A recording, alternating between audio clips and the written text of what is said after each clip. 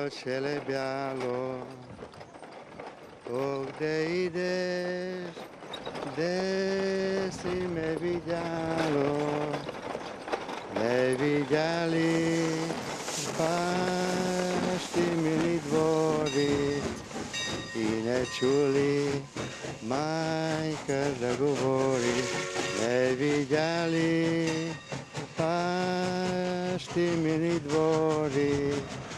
бащи мили двори и не чули майка да говори.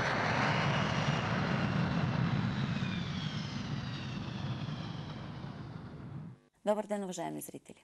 Събота след обед е, аз съм Райна Манджукова и както винаги следващите близо 60 минути с вас ще посветим на голямата тема за българите в чужбина и българите в България. За това, което ни събира, за това, което ни разделя и най-вече за това, което можем и правим и тези, които сме в България и тези, които не са в България. За това България да е страна, в която искаме да живеем и в която искаме да растат децата ни или децата на нашите близки. Както ви обещах в предаването от 10 юни тази година, когато направихме една нова рубрика, създадохме една нова рубрика, рубриката Те успяват в България, тогава ви обещах, че веднъж в месеца, поне веднъж в месеца, ще ви запознавам с хора, които не са родени в България, които на един или друг етап от живота си обаче са решили да дойдат в България или така са се стекли обстоятелствата, че са дошли в България, и които са българи, разбира се, но са взели решение да останат в България и да продължат живота си тук. Тук да реализират способности и възможности, тук да създадат семейство и в крайна сметка България да стане тяхната родина, тяхното място за живеене и за успех.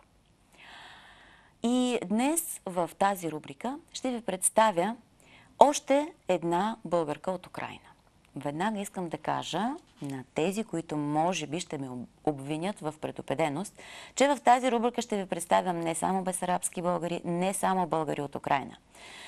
Много такива примери за хора, които са успели или успяват в България, има и от Македония, и от Западните Покрайнини, и от Банат, и въобще от, от другите части на Румъния, на Сърбия и така нататък. Но ще говорим в тази рубрика, ще говорим с хора, които са от тъй наречените исторически области, които са българи, винаги са знаели, че са българи, но съдбата е отредила да се, да се родят извън България. Ще говорим за това какво ги е довело в България. Дали са дошли като студенти или просто на даден етап са се възползвали от възможностите да пътуват, да дойдат в България, да я видят, да я харесат и тогава да решат да останат тук. Съдбите ще са различни, но това, което ще обединява тези наши сънародници, е фактът, че живеят в България. Създадох я тази рубрика с цел от една страна да за пореден път да покажа, че първо не е вярно, че всички бягат от България. На тази тема, на тази голяма тема, темата за противопоставяне на всеобщия медиа на РЕФ за това как нашите сънародници заминават, как българите напускат България, от години вече имаме рубрика Аз избрах да се върна. Рубрика, в която, поредица по-скоро, в която ви представям българи заминали по една или друга причина от България, но на даден етап взели решение да се върнат в България, да използват, да приложат наученото, да реализират спечеленото в чужбина и като казвам спечеленото, имам предвид не само материално, но и интелектуално богатство – да го реализират тук в България, в полза на страната, в полза на своето семейство, в полза на себе си. Другата рубрика, новата рубрика, те избраха да се върнат, е съвсем нова, защото има много и такива наши сънародници. Аз съм убедена, че всеки от вас, уважаеми зрители, в различните кътчета на България познават такива българи. И може би се чудят как така са избрали как така са решили да останат в България при положение, че другите около тях бягат? Затова тази рубрика ще ви показва и тази част от голямата световната България. И аз днес с огромно удоволствие казвам добре дошла в студиото на Облачеле Бяло на Евгения Куцарева. Женя, аз ще, се нарич... ще си те наричам Женя, защото така си те наричам. Здравей, добре дошла. Добър ден. Благодаря за поканата. Ти гледа ли предаването с сестра ми? Гледах с интерес. С голям интерес, Така, точно. Познаваме се от много години и така малко изплуваха спомените в съзнанието ми от, от както се познаваме. А, това ли ти помогна да се съгласиш и ти да станеш участник в тази Това по-скоро ми помогна да не откажа. Да не откажеш. Да. да. Доста, доста прилики видях в съдбата ни, в нашето развитие, в, а, ми, в един така в един период живеем, както се казва, в едни години сме расли, в едни години сме учили. Буквално вървим сте се успоредно. борили. Да, да. И... А, всъщност да, аз чак а, много по-късно си дадох сметка, че вие действително и една, една и съща година сте дошли, същи, да, в един 92-а. и същи Да. Но прием сме. въпросът ми е по-скоро, мислиш ли, че е нужно, а, че тази поредица е необходима? Ами необходима е тази поредица поради, може би, причината, че нали, тези, които сме останали и не сме се върнали в родината, в която сме се родили, нали, Да. от тази гледна точка родина, а сме останали в родината, която ни е Старата родина. старата родина, която ни е съзнанието, която ни е любовта, ако можеш да кажем, а, може би да докажем това, че ние наистина сме вързани с тази родина и нали, при този богат избор предпочитаме да останем тук, където ни е най-близко, най-родно, най-свидно, обожавано, ако можем да кажем. Нищо, че е трудно, нищо, че... Чак ще стигнем до трудностите. Да, Ти веднага да, започна добре. с трудностите. Нека да започнем от, от начало. Да Добре, започнем от добре. начало. Защо кандидатства в България? Аз сподели, казах с зрителите, че а, хората, които ще са участници в тази рубрика, нали, различен е пътят, по който са дошли в България. А, твоят път е чрез студентството. Тоест Да, ти си дошла да. да, учиш в дошла България. Защо в избра малко да в несъзнателна възраст, както и голямата част от дошлите в България на времето. Кандидатствах да уча. В нашите години приемаха хуманитарни дисциплини. Избрах да уча в България. Защо? Защото може би всички с обожание споделяха за България. Всички с някакъв трепет и очакване за нещо по-различно, по-хубаво от това, което ни чакаше в а, Някъде другаде където в страната. сме се родили, да, да, това да още беше кандидатстваме. Не, вече тук, А, да. Точно беше на ръба Да. да. не говоря исторически факти, но масово се движиха и така мненията, че всичко ще се води на украински, което мен лично ме плашеше, тъй като аз руски говорех само в институциите, а останалото си време си беше български Времето език. показа, че не се оправда това, за съжаление, страха, казвам аз, но това е друга тема. Да. да, да. Може би това беше... Но това, че ни зовеше е, родното, зовеше ни прародината, Имаше емоция. Имаше емоция, Имаше да, емоция. имаше чакане, имаше трепет, а, с голям а, ентусиазъм Мисълта ми е, че не беше само, не е било прагматизъм. Ми, че не, примерно не. там ще получа по-добро образование или там ще Даже- ми е по-ефтино. Например, Даже казвам. имаше, не. Това въобще лично аз не го, въобще не съм го мислила. А, дори когато споделих с моя класен ръководител, обожаван, обичан, за съжаление вече не е между живите, а, споделих, че съм приета в България да уча и че ще уча педагогика. Той застана и вика, много трябва да мислиш, тъй като това може би ти си много открит, добър човек. Педагогиката може би не е точно за теб, но щом си е избрала и си приета, много помисли и действай. И да, той ме напътства благополучно, бях приета да уча, изучих се, прилагам си педагогиката. Това е. Значи емоция има. А виждала ли си България преди това? В смисъл, идвала ли си не, България преди не. това? Преди да кандидатствам, не съм идвала в България. Тогава А какво беше знаеш трудно. за България? Ами знаех много за И България. откъде го знаеш? Ще кажа откъде го знаех. Аз от дете бях абонирана за няколко български издания и ги получавах съвсем... Ти да видиш. Да, съвсем както се излизаха и както ги получаваха българските а, читатели. Получавах списание Славейче. Даже не мога да кажа от кога. Според мен цял живот съм го получавала. Успоредно с всички списания, които ни абонираше майка ми като деца, нали, според възрастта и интересите и вестници. Беше модерно на времето, нали? Да. Нямаше да си купиш днес, а утре да не го получиш. Абониран си, получаваш. Искаш, не искаш, това е. А, нали, аз с голямо така опоение ги четях. А, Славейчето до края си го... От корица до корица. След това вече малко така в по-голямата възраст ни абонираха и за Родолюбец. Имаше едно списание. Родолюбие. Родолюбие, да. Родолюбие. Същото списание, така, доста неща знаех за България дистанционно. Нямаше интернет в наше време. Нямаше... Лесно ти беше да четеш. Интересно ми беше и лесно ми беше да чета.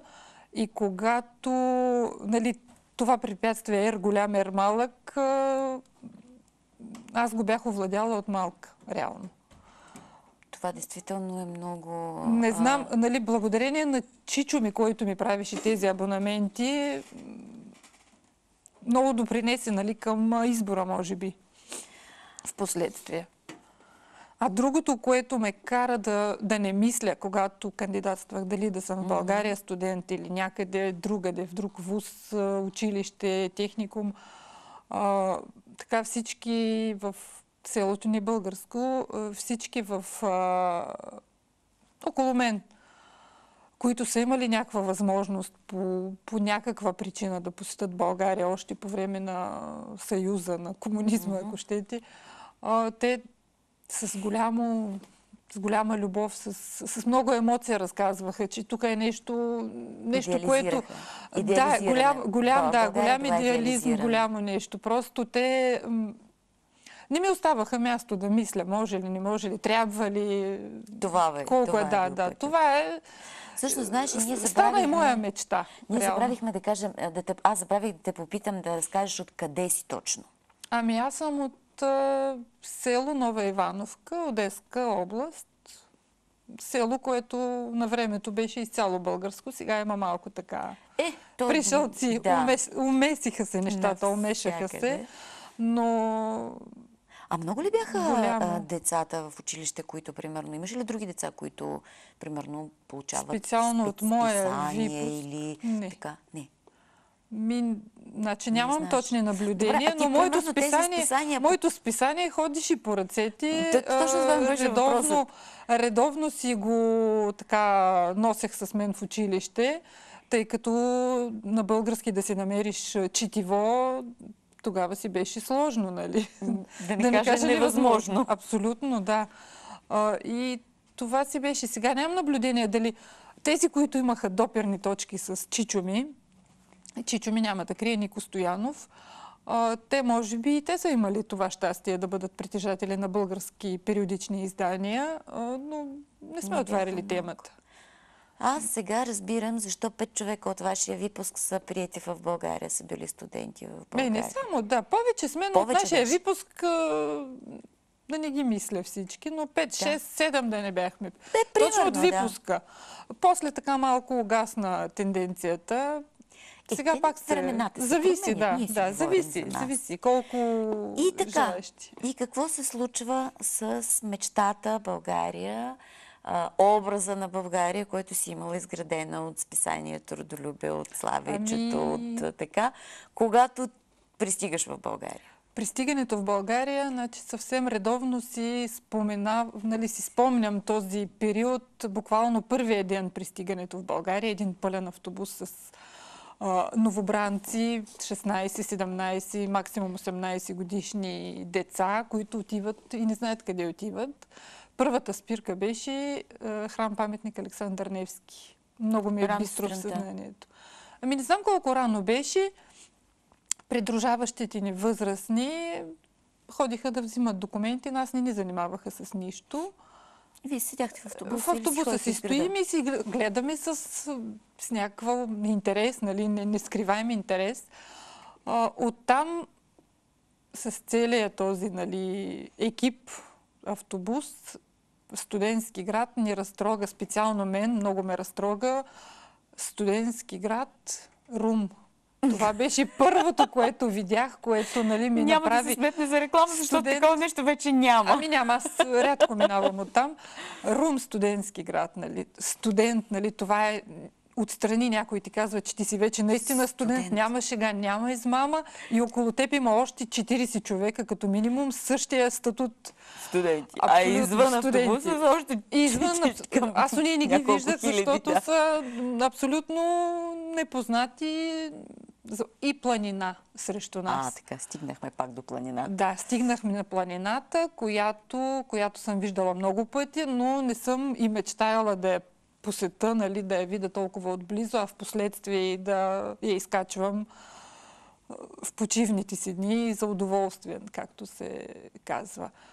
И вече оттам мечтата сбъдната, студент, прият, 40 дни учене на български язик. И че. Просто и че се... чуждестранни студенти. Това беше следващата дестинация, която овладяхме, която посещавахме, която 280 номер автобус беше нашия До Плиска? автобус. Да, Плиска и Вичесето. Контактите, които създадохме, докато пътувахме и докато учихме български, нали, опресняваха някой българския, и до днес съществуват. Нищо, че ние бяхме един от малкото така, випуски, които дойдохме. Приеми, да, Приеми по-скоро. по-скоро, да. Които дойдохме, учихме заедно и след това ни разпределиха по Да. Вузовете в цялата държава. Тези контакти и до днес са живи. За съжаление обаче трябва да кажем, че тази практика, уважаеми зрители, първо децата, младежите, които пристигат тук по постановление 103 и по предходните две а, ставало е дума много пъти, че постановление номер 103 за обучение на лица от български происход от чужбин, родени в чужбина тук в България е прието 1993 година. Преди това няколко предишните три години всъщност приемът се осъществяваше в основа на отделни решения, което се взимаше всяко за една година. С а, такова решение е прията и гостенката ми, но дори след приемането на постановление 103, още няколко години след това, всички деца, всички младежи, които пристигаха да учат в България, първо няколко години учеха в... Не няколко години, 40, дни- 40 дни, месеци нещо, учеха български язик в Института за чуждестранни студенти. А, впоследствие промените в образователната, реформите в образователната сфера промениха Института за чуждестранни студенти престана да съществува, беше трансформиран в департамент към Софийския университет. Съответно, български язик вече можеха да учат там само младежите, които са прияти в Софийския университет.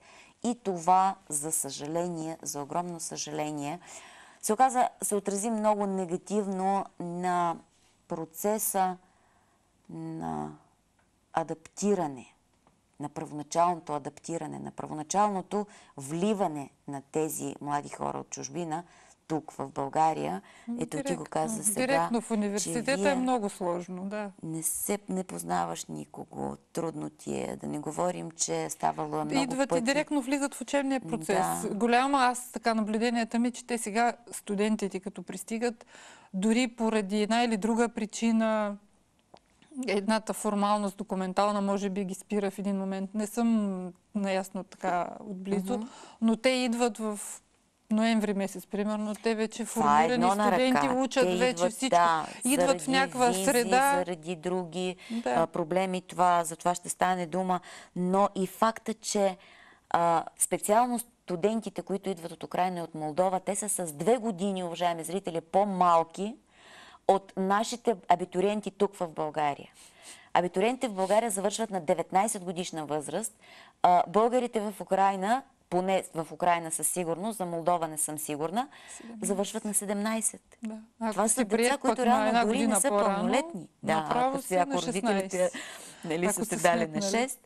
А, и Абсолютно. затова е много сложно, но а, за това пък, изпреварвайки малко, за това ще кажа повече в края на предаването. Ние от Центъра на безарабските българи в България вече втора година ще направим всичко възможно тези млади хора, които идват, да им е по-лесно, да им помогнем да се адаптират за това, както казах по-в края на предаването. И след 40 дни в ИЧСето, в, вече в С голям педагогиката. трепет, с голям трепет, с голямо Нетърпение. нетърпение, с големи надежди. Взимаме си тук в ИЧС-то документите. Нали, вече имаме един документ, че сме така изучени. Да. Учихме и по специални знаете- учебници за, за педагогика, терминологията. Ние бяхме подготвени. Това още го Супер. пазя някъде този Да. учебник. А, отиваме в Софийския университет и там се оказваме, нали, ние първоначално коментирахме с познати тук вече, нали, новодошлите, но там се оказахме 6-7 човека от а, този един прием, който дойде, от тези хора, които се познаваме и така си се движихме до последно. Комплектно. Не ти ли пречеше това, че се движите само в този комплект, с който си дошли, с който сте Не, дошли? не, не. Движихме се, в този смисъл се движихме, че не се разделихме по никакъв начин, никой не изпадна. Да, да, продължихме и да заедно сте си- завършихме. да. да, в този смисъл. Но иначе всеки си създаваше своите контакти. Всеки си, нали, тази институция, студентски град, студентските общежития, там бяхме разделени, не сме били през цялото време заедно и там всеки намери късмета си, всеки намери а, така човека с интересите си, с... а, Лесно ли ти беше на тебе да влезеш, да, смисъл да си намериш приятели сред българските българи? Ами не ми беше трудно. Не ти беше трудно. Не ми беше трудно първо в университета, но първите една-две години сложно от гледна точка, че наистина така се движихме по-комплектно с момичетата от курса, нашите момичета. Но пък като излезнах в студентски град, в общежитие извън нашия кръг, ние си се събирахме е, бесарабските българи, нали, с а, Помежду си. Помежду си, да. Но вече влезна и тази втората вълна, нали, с приятелите, с квартиранти от съседния апартамент, от Да. дори нищо общо с специалността. Право, Студентски студентски живот. да. Да.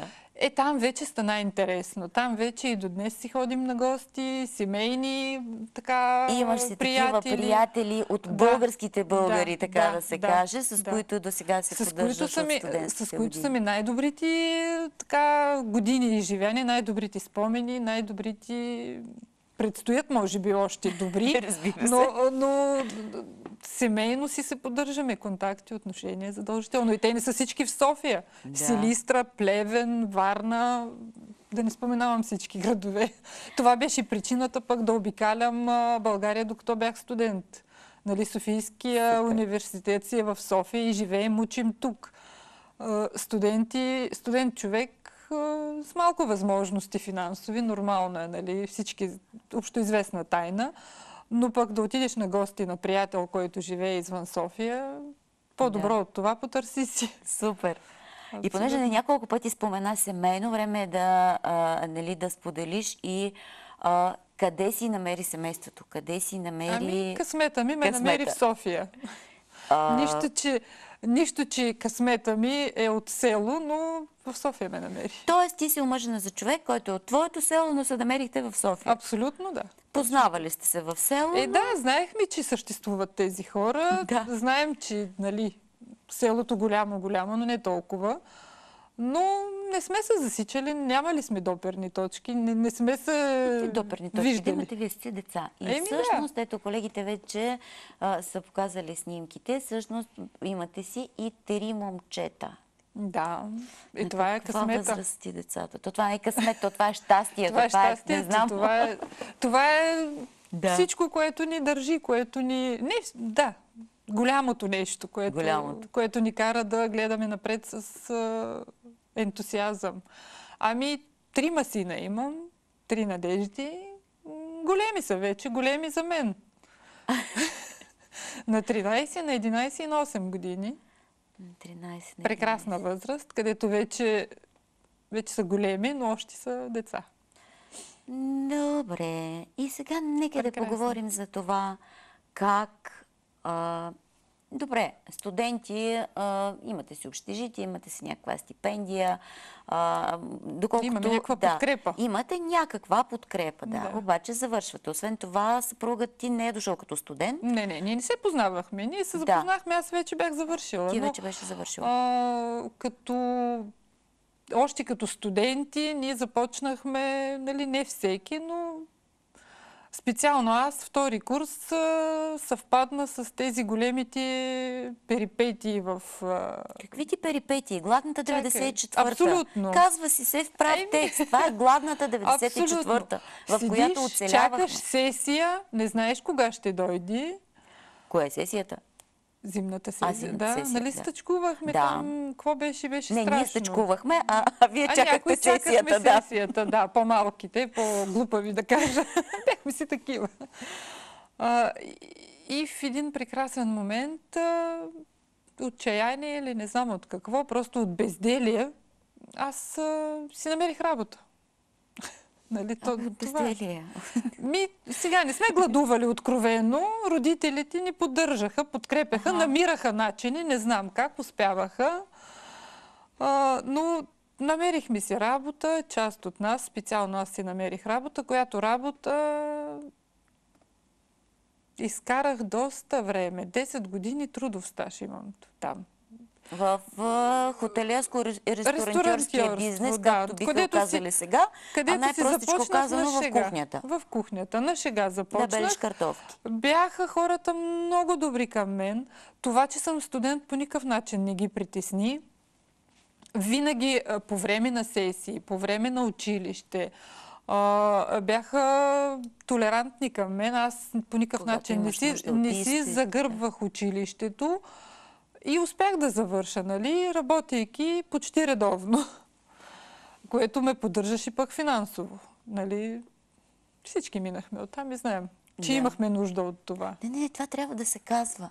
Това Всички трябва да се казва. нужда. А, Ами- поне онова поколение, действително, Нямаше а, на кого да разчитаме. Да. Работихме без спир. В кухня се работи до 12 часа, докато има клиенти. Еми след това се прибираш. Нямахме време за дискотеки толкова, нали, колкото си позволяваха други. Нямахме време за а, други такива мероприятия, в които си трябваха и време, и пари. Пък като имаш свободно време, сядаш да четеш. Все пак си студент, все пак имаш и някакви отговорности, освен на нали, твои а, щения, желания. И за това така успяхме в един момент. а като завърши, Еми, като завърших, като завърших а, семестриално, взимах си практическия изпит с 6, обаче дипломната работа поради някаква причина избрах много интересна тема, която се оказа интересна за мен, но не много практична за за реализиране. Да, за, да. Не, тя си беше професионално ориентиране. Не намерих подкрепа от научния ръководител първо, в, в този смисъл, в който аз го очаквах. И затънаха нещата на доста време. Нали, като завърших, аз си работех в кухнята, междувременно нали, се омъжих, мгм, ти се омъжи още преди да като- завършиш. Ех, семестриално бях Да, завършила. аз- Студент отдавна вече не съм. Вече живея на квартира. Омъжих се и тогава вече се дипломирах. Това беше нали, семейно подкрепа, подкрепена идея да все пак Че трябва да да ми бъде, да, да да ми бъде А придобито. каква ти е била идеята? Значи не те питам когато си кандидатствала, защото ясно е, че когато си кандидатствала, Да. няма абсолютно никаква идея какво ще правиш тази педагогика. Отиваме в България да учим. Отиваме в България да учим. Да. Точно така. А, обаче, завършвайки вече, Да. имаш ли някаква идея какво ще правиш с тази педагогика? Ами все Или още теплих, все още имах надежди, тъй като аз се профилирах към а, а, управление на образованието, към а, училищна педагогика. Аз имах много шансове за реализация, но в мига, в който аз се здобих с а, диплома, реална вече, нали, не виртуална, че съм студент и уча, и почнах да си търся работа, навсякъде търсиха хора с опит. Еми, Да. извинявайте, от университета човек с опит няма как да излезне, всеки се сблъсква с това. И аз, междувременно, нали, докато търсих работа, успях да рода. Почнах да трупам опит педагогически. Започна да прилагаш Да, педагогиката върху собствените си деца. Абсолютно така, да. А, Бях натрупала опит като готвач, почнах да трупа педагогически опит, имах теория като педагог, родих едно, второ дете. С раждането на третото почнаха да ме канят в детска градина, нали, директорката, с която всеки ден се сблъсквах. Ама ти си завършила педагогика, идвай да работиш. Да, ама нямам опит. Как нямаш опит? Имаш три деца. Актуално нали, много добре го прилагаш в момента, нали, тази педагогика, виждайки децата ми, виждайки нали, обноските им, на които все пак много или малко всеки се старае да ги научи на хубаво.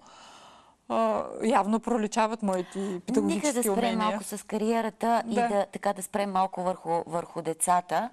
А, имаме още снимки на твоите деца. На мен ми направи впечатление, че а, имате страшно много снимки, на които те са заедно. Ми... А на тях не им е чак толкова малка разликата, да кажеш, през година-две. Еми, пет години са общо всички, заедно Ама са, тъй като толкова, да. никога не съм ги разделяла. Да. Никога. Те, те просто...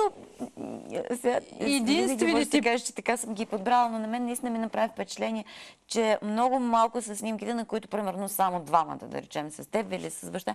Те са непрекъснато комплект. Ами да, така са. За снимки специално се редат комплект, но в живота те са разделяли само когато, примерно, единия или двама заминават на зелено училище. Да. Това са поводите. Иначе по никакъв начин не ги деля от първия миг, от първия ден на раждането на второто дете. Аз не съм ги разделяла, за да си облегча на мен живота и едното дете да ми го гледат там баби, лели, който има желание и възможност. На колко е Но- бил първия, когато се е родил втория? Година и девет. Година и девет. Да. Като, като не... Много добра възраст, прекрасна, но сега ми е страшно да гледам назад.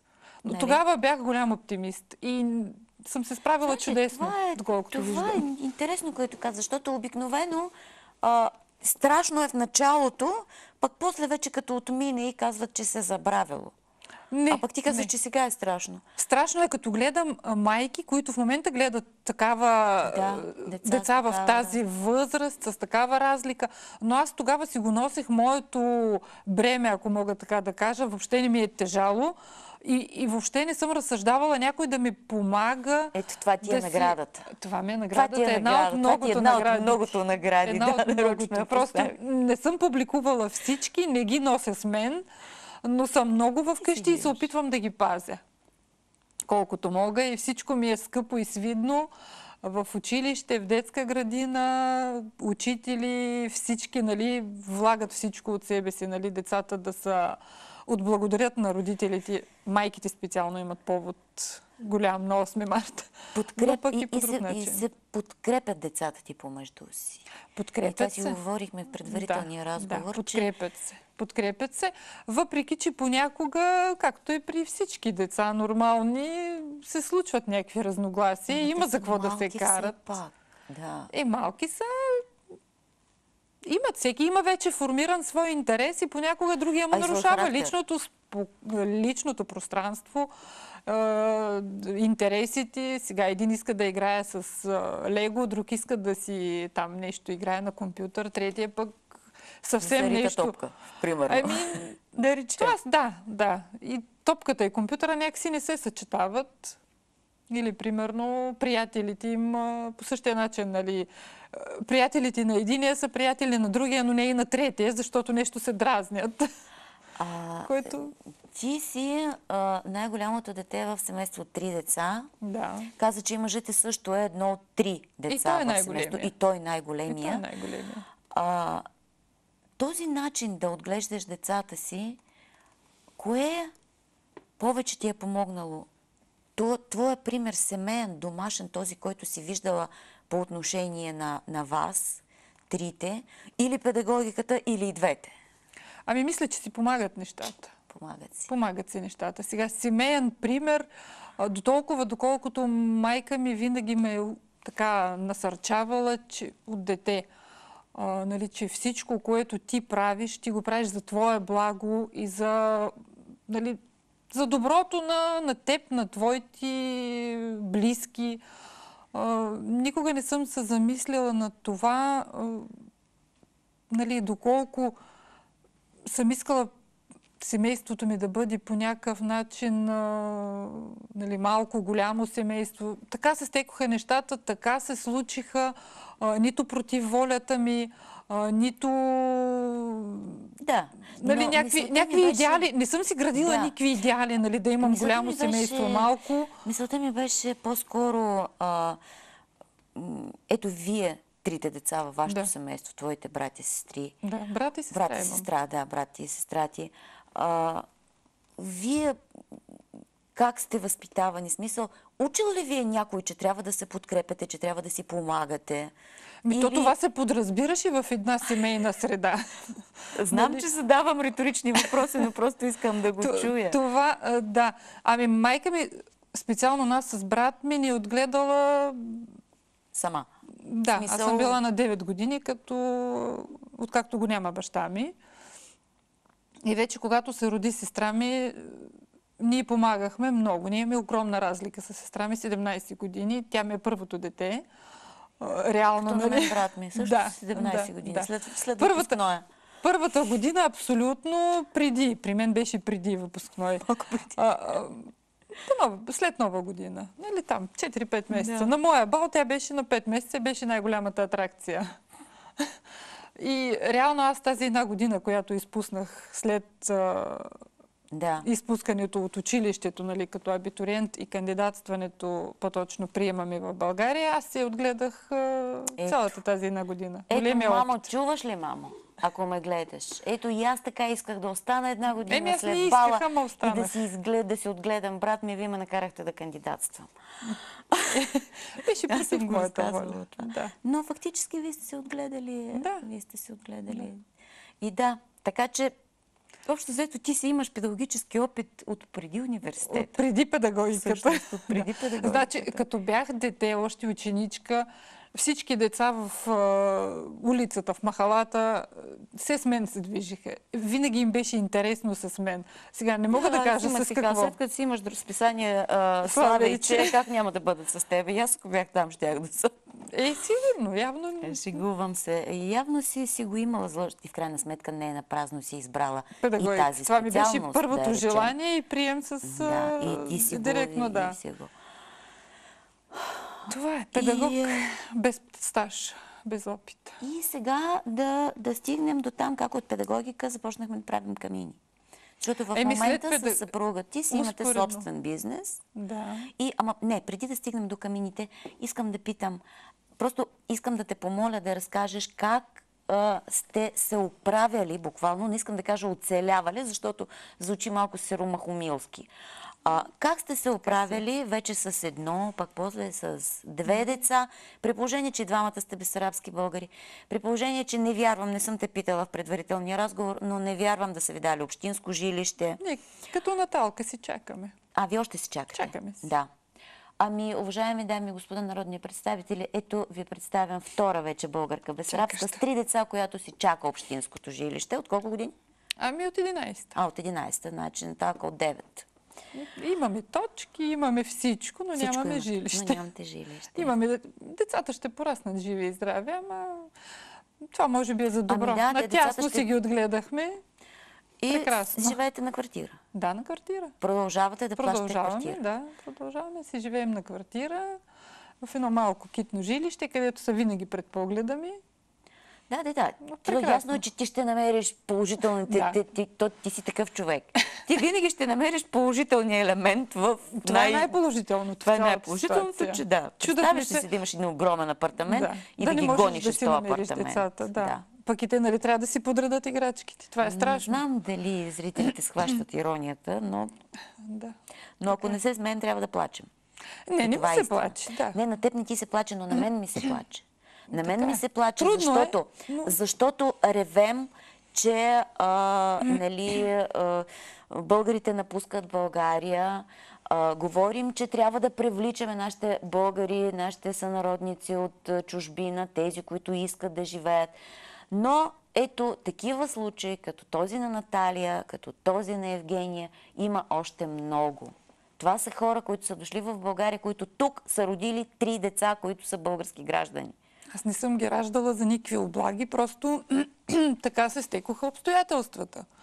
Аз Просто... чакай да те попитам, ти успя ли в градина да ги запишеш на времето, защото те вече да, са ученици? Да, да. Еначе на време бях родила първото си дете, защото след него вече нямаха компромиси, там нововъведените изисквания да да бъде ли прието или да не бъде прието детето. Да. Значи, винаги бяхме с най-много точки като се въведи тази система. Защото а, на Наталия и двете и деца така и не влязоха в детска градина, просто защото не можаха защото да големия вече е точките. голям, а да, малките, големия вече да, е голям, а само двама. няма достатъчно Не, не, точки. там, значи да, в институцията казвам, детска че... градина си бяхме Нашите хора никога не се оплакват. Години. Ние не се оплакваме. Не, ние се не. борим, ние се решаваме въпросите сами, но имаме една държава България, която ни иска тук, която иска тези българи да бъдат тук.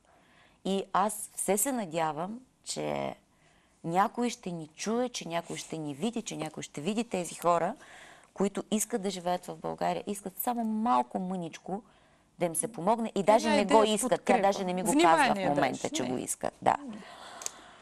А, Искаме и така... толкова, доколкото по каналния ред си вървим и си чакаме. Да си бъде правил. Да. да. И си чакаме толкова. Ами как се справяме с децата? Като един си тръгва на детска градина, ето стигнахме до детската градина. Отива си на детска, следващия си го отглеждам вкъщи. Аз излезнах по майчинство от, от, ресторанта. И вече след майчинството, децата вече уредени в детска градина, мъжа ми вика, хубаво е, обаче ти вече в ресторанта не можеш да влезнеш, тъй като там работното време е малко, не е като за семейен човек. Нали, да. Колкото и да са а, така хората открити към теб, не могат да ти направят специално твое работно време от 8 до 6 и да си прибереш децата и да си ги гледаш. Трябваш ми в бизнеса. Кога започна бизнеса той? Ами като той ваш от... бизнес. Предполаг... А, по... Искам да позная. Предполагам, че той е дошъл, работейки и започнал да работи някъде по строежите.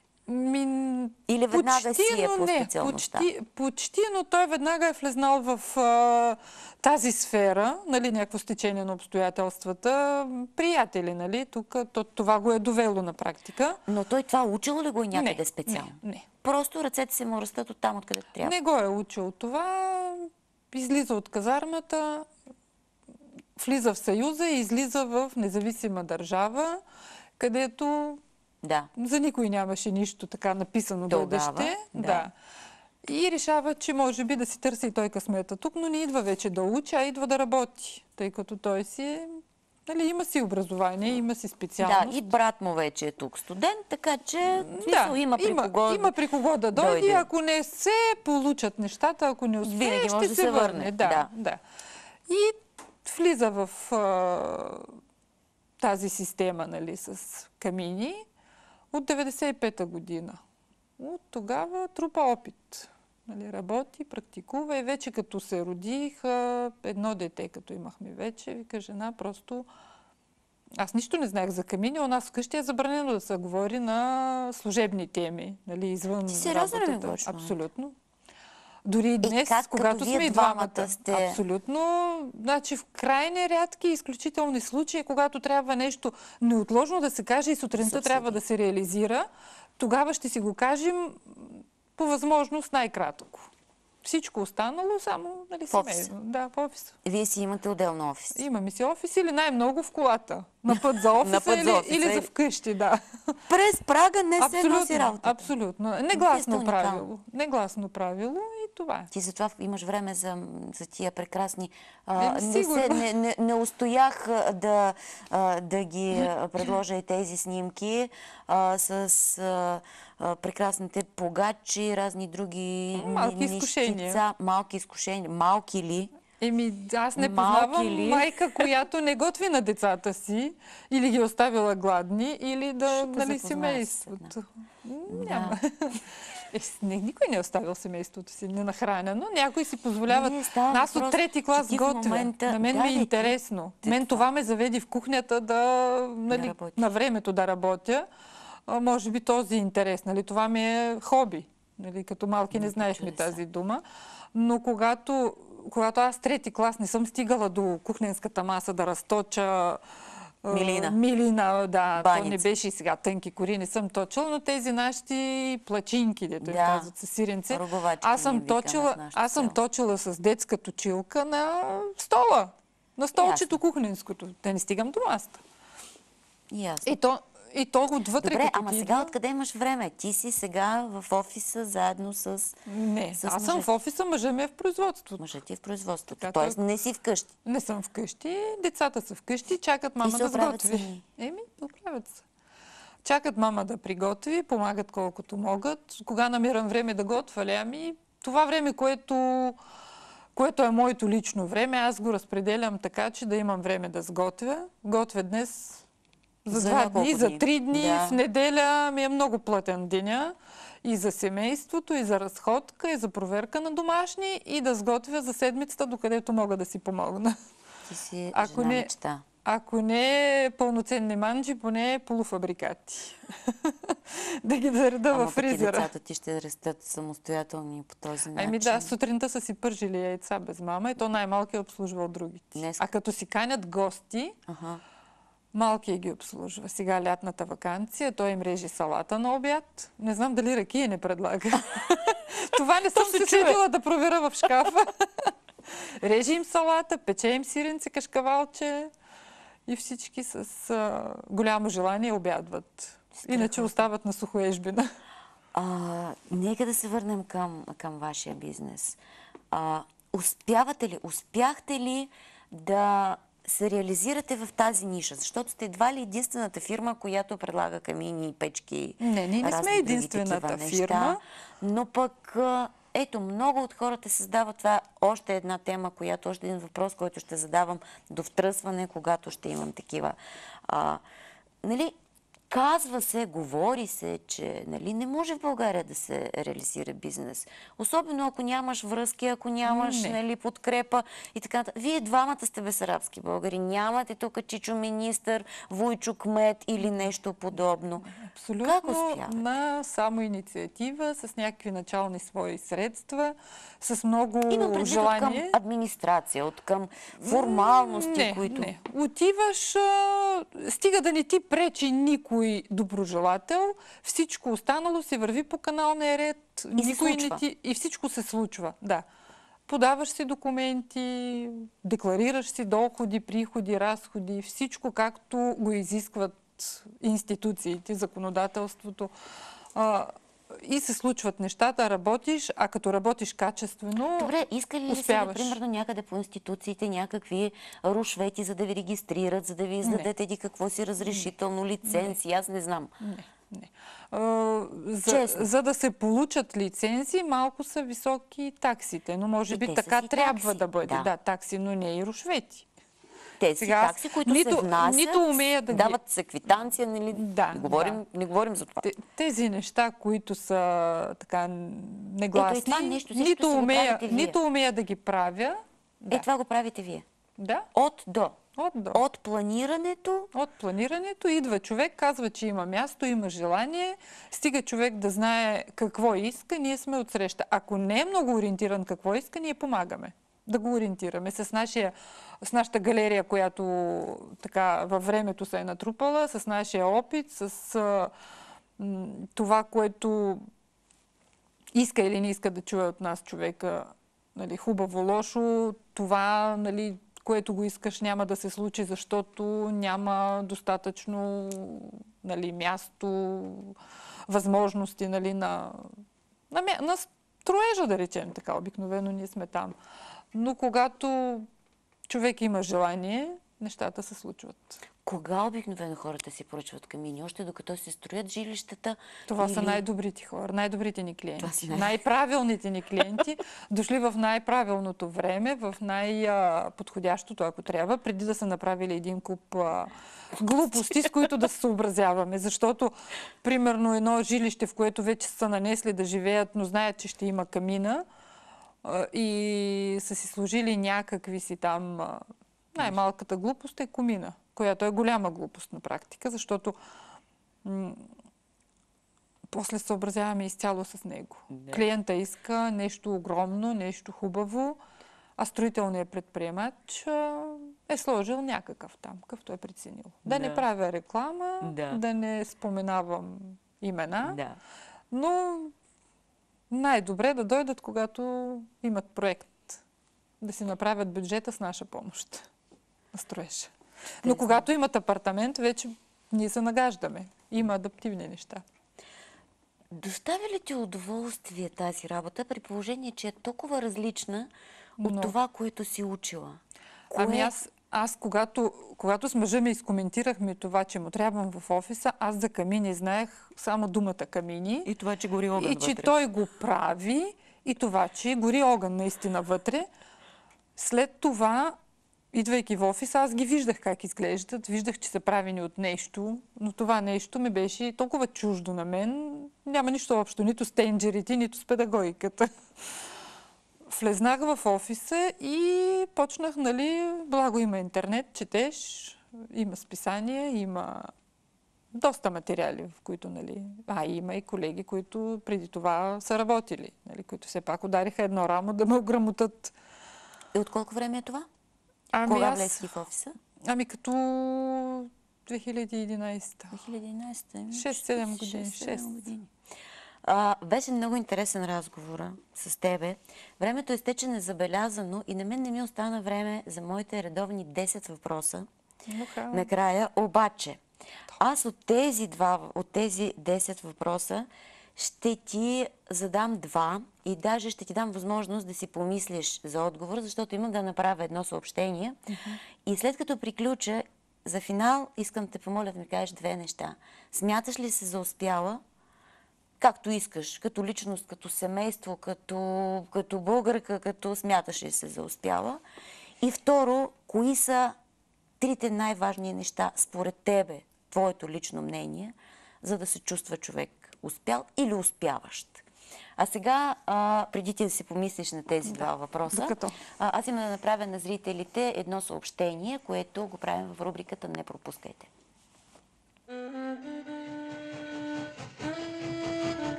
Темата на днешното предаване, но не и само заради темата.